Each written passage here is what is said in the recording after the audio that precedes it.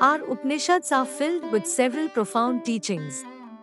Among them, the four great Mahavakya stand out as the fount of all knowledge.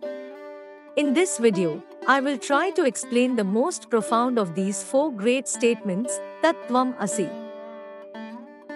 In simple English, Tattvam Asi means you are that. But what does this mean? This statement explains that our true nature, our innermost self, or our Atman, is identical to the ultimate reality, which is none other than Brahman. Tattvam Asi is found in the sixth chapter of the Chandogya Upanishad, which is part of the Samved. The great sage Uddalak Aruni uses this sentence more than 10 times in the Upanishad. Through various stories and examples, he explains how our Atman is nothing other than Brahman itself to his son Shvetketu. Let's dive into this story and learn the truth behind Tattvam Asi. One day, when sage Aruni's son Shvetketu had grown to become 12 years old, he asked him to go join a Gurukul and gain knowledge of the Vedas. From the age of 12 to 24, Shvetketu studied the Vedas. Upon his return, his knowledge made him conceited and egoistic. When sage Uddalak saw his son, he immediately understood what had happened. To help Shvetketu realize the error of his ways, he asked him a simple question. My son, have you learned how to hear what cannot be heard? Do you know how to perceive what cannot be perceived? Did your teachers instruct you on how to know that which cannot be known? Shvetketu did not know the answer, and his conceit immediately melted away. He requested his father to instruct him on this profound knowledge, and sage Uddalak agreed. He said, Imagine a lump of clay. From it, countless pots can be shaped. Yet their essence remains clay. Just as all clay forms share this essence, all beings share the same essence. Similarly, by knowing one nugget of gold, all gold is known, no matter what the shape or ornament. They differ only in name, but the truth is only gold. He continued, by knowing a single nail scissor, you know all objects made of iron. All different forms of iron are merely names, but iron is the reality. He gave another example. The sound of a distant drum exists, though its origin may not immediately be visible. Similarly, the essence of beings, though imperceptible, is ever present. He tells his son, This is the teaching I spoke of. Shvetketu says, Surely my teachers did not know all this. Please explain it to me, sir. Sage Aruni explains, Before this world was manifest, there was only one existence, without a second. Some believe that there was only non existence, and out of that non existence, existence emerged. However, what proof is there for this? Can something emerge from nothing? Rather, before this world came into being, there was only one existence, one without a second.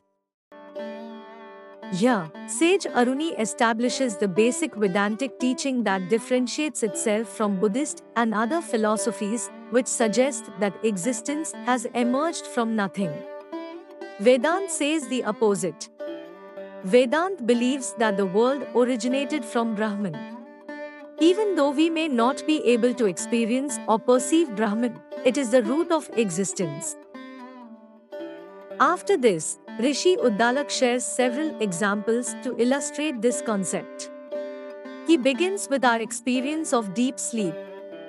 He tells his son, when a person is said to be sleeping, he becomes one with existence itself. He becomes his real self. Rishi Uddalak explains how deep sleep is a temporary state of oneness with the self. This teaching is also mentioned in other Upanishads, most notably the Mandukya Upanishad, where it is called Sushupti.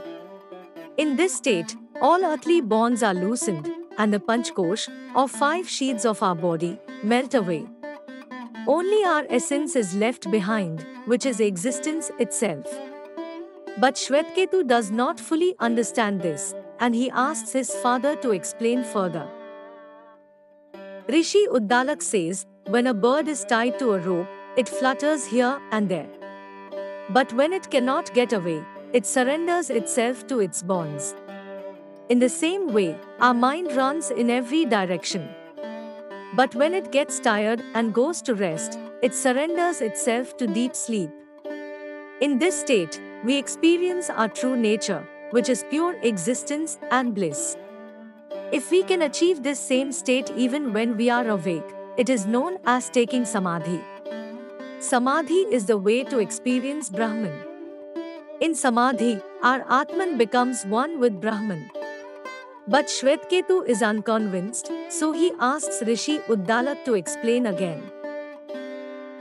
Next, Rishi Aruni uses the concept of cause and effect to demonstrate that everything must have a final cause, and that cause is Brahman.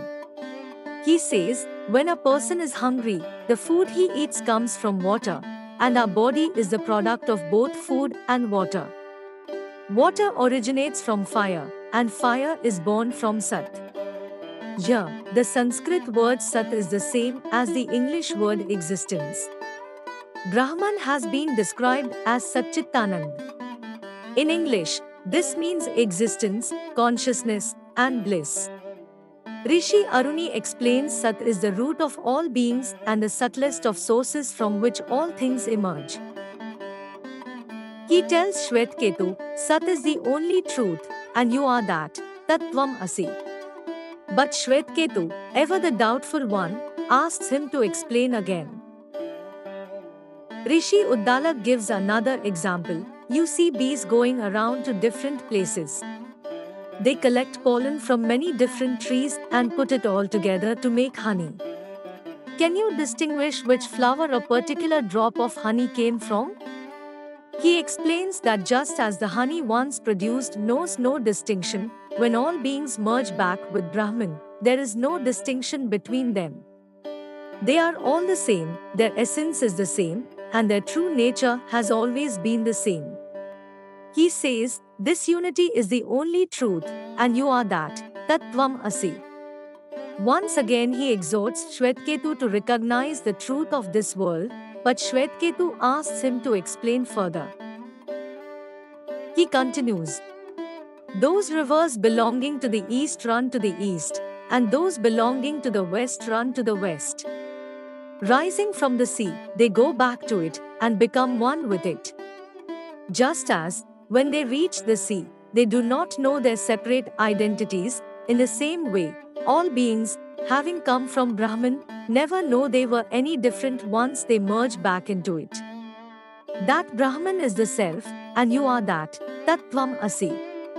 Once again, he repeats his message, and Shwetketu, perhaps knowingly, asks him to explain again. Rishi Uddalak gives one more example. If someone strikes at a big tree, it will continue to live as long as it is pervaded by the self. But if the Atman leaves a branch of a tree, that branch withers away and dies. If the Atman withdraws from the whole tree, then the whole tree dies. When the Atman leaves our body, our body also dies. However, what never dies is the Atman. You are that, Tattvam Asi. Shwetketu again requests him to explain further. Rishi Uddalak tells Shwetketu to bring a fruit from a banyan tree and break it. He asks, What do you see inside? When Shwetketu replies that he sees some tiny seeds, Rishi Uddalak asks him to break the seeds as well. He asks again, what do you see inside? Shwetketu says, Nothing, sir. He then explains, The finest part of that seed is not visible to you. But in that finest part lies hidden a huge banyan tree. This subtlest source of life cannot be seen, yet without it there is no life, and that very self, without which nothing can exist, is the real you, Tattvam Asi. Shwetketu requests him to continue. Rishi Uddalak gives another example. He asks Shwetketu to mix salt with water and keep it away. The next day, he asks Shvetketu to retrieve the salt. When he cannot, the sage asks him to taste the water, which is now salty. He tells him that even though the salt is nowhere to be seen, you can feel its presence. He explains that the self, or Brahman, is just like this salt. It the real you, Tattvam Asi. Shvetketu requests him to keep giving more examples. Rishi Uddalak shares a story. When a person is brought blindfolded from a country and left in a deserted place, he cannot find his way home. But when someone removes the blindfold and gives him directions, he will reach his destination. Similarly, a person who gets the right teacher attains knowledge of the self. In this story, Rishi Uddalak places emphasis on the presence of a guru in understanding the self. He explains how a guru is able to guide you towards the ultimate truth. He ends the example once again with Tattvam Asi. Shvetketu requests him to explain once again. Rishi Uddalak continues. When a person is seriously ill, he recognizes his relatives as long as his speech does not merge with his mind, his mind with his life force, and that with the Atman. But once he merges, he no longer recognizes them. When that happens, he becomes one with his true nature. That truth into which he merges is Brahman, and that is you, Tattvam Asi. In his final story, Rishi Uddalak tells Shvetketu that a man who has committed a crime shall always be punished, while one who is speaking the truth shall always be set free. Freedom is born from the truth. The final truth is Brahman, and you are that, Tattvam Asi. I hope these powerful stories and examples have given you as much insight and joy as they have given me about ourselves, our true nature, and the meaning of Tattvam Asi. Thank you for watching.